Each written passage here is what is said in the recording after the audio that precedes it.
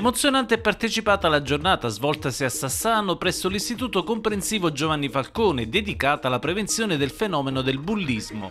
L'appuntamento organizzato in collaborazione con la Banca del Cilento di Sassano e Vallo di Diano e della Lucania ha visto la partecipazione di illustri relatori e le conclusioni di Monsignor Antonio De Luca, vescovo della diocesi di Teggiano Policastro. Presente all'incontro anche una qualificata rappresentanza delle forze dell'ordine valdianesi. Il convegno di oggi, che veramente con orgoglio ospito nell'Istituto Comprensivo di Sassano con la presenza delle autorità civili, religiose, dirigenti scolastici, si inserisce in un percorso che la nostra scuola ha già cominciato da qualche anno per quello che riguarda la prevenzione e anche il contrasto del fenomeno del bullismo e del cyberbullismo. Quindi i nostri ragazzi dovunque andranno avranno consapevolezza di un comportamento civile e sapranno essere d'esempio e aiuto agli altri. Il bullismo non è altro che una violenza su soggetti più deboli e la cosa che mi fa piacere sottolineare che nei nostri istituti scolastici, questo vale per Sassano ma vale un po' per tutti gli istituti scolastici dell'area del parco, ci sia una grande attenzione anche da parte dei docenti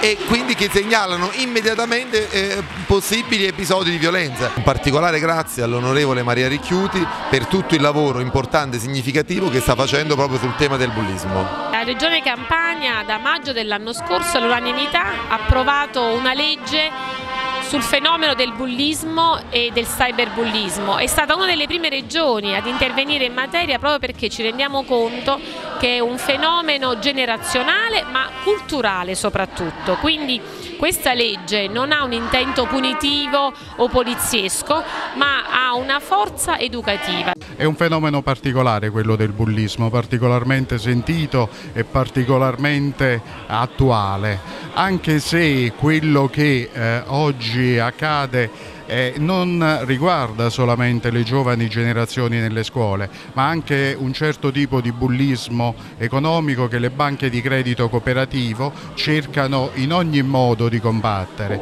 Difatti noi cerchiamo come banche di credito cooperativo di essere più forti, ma soprattutto di essere a tutela di quelle che sono le fasce più deboli.